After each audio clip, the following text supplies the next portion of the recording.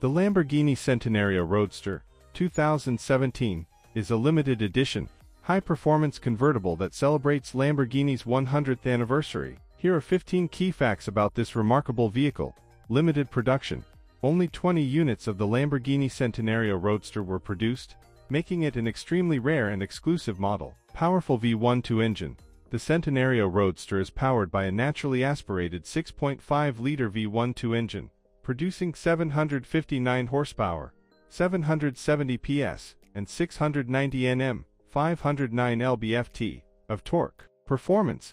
The Centenario Roadster can accelerate from 0 to 100 km h, 0 to 62 miles per hour, in just 2.9 seconds, with a top speed exceeding 350 km h, 217 miles per hour. Carbon fiber construction. The car's body is extensively made from carbon fiber, including the monocoque chassis and body panels, which contributes to its lightweight and high rigidity. Aerodynamic design.